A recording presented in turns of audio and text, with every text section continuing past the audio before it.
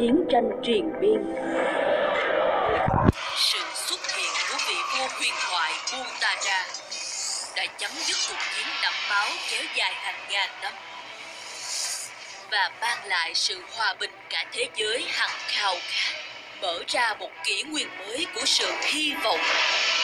Tuy nhiên, ở nơi bóng tối ngự trị, chỉ một vài người biết đến cấu trúc của thế giới đã bắt đầu bị phá vỡ. Nhiều động không gian ẩn chứa sự chết chóc và nỗi đau vô tận hình thành, nơi mà các chiến binh được đưa vào thử thách. Cuộc hành trình bắt đầu.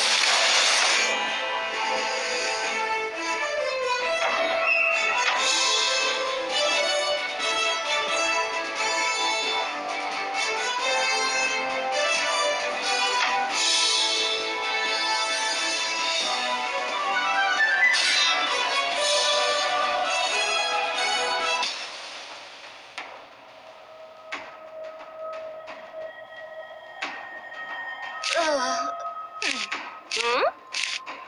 嗯哼。